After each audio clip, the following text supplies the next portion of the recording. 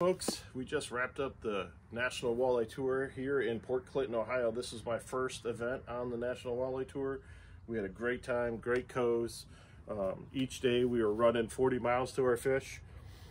Uh, day one wasn't bad. We were getting there within an hour and 15, hour 20 minutes, being able to kind of trough through those waves with the Ranger. And day two, started the day, we we're looking at the forecast and there was a heavy northwest wind coming in, which I was kind of a little nervous about. And probably the most important tool for me that day as we were catching our fish was my Bubba fish scale I just bought. This thing, this thing is extremely accurate.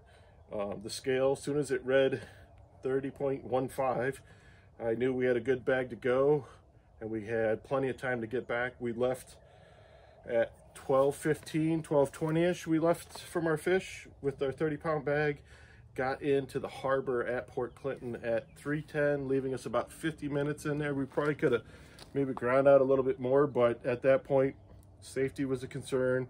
Wanted to get back in before the waves got even bigger than they already were, especially with that long run.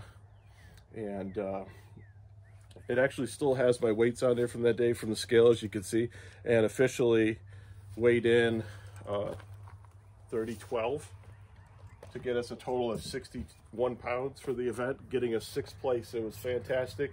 Uh, extremely proud to represent Spear Chardon Tractor and Kioti Tractors.